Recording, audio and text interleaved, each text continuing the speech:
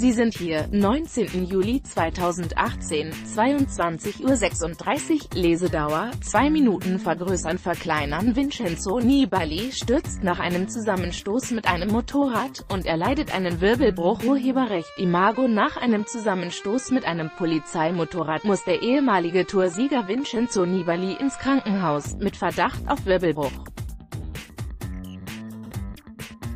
Für den früheren Toursieger Vincenzo Nibali ist die 105 Frankreich-Rundfahrt beendet. Der italienische Radprofi erlitt bei einem Sturz auf der 12.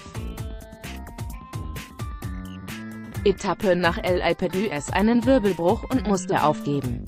Das gab sein Team Bahrain Merida am späten Donnerstagabend bekannt. Nibali war laut eigenen Angaben nach einem Zusammenstoß mit einem Polizeimotorrad rund 5 Kilometer vor dem Ziel zu Fall gekommen.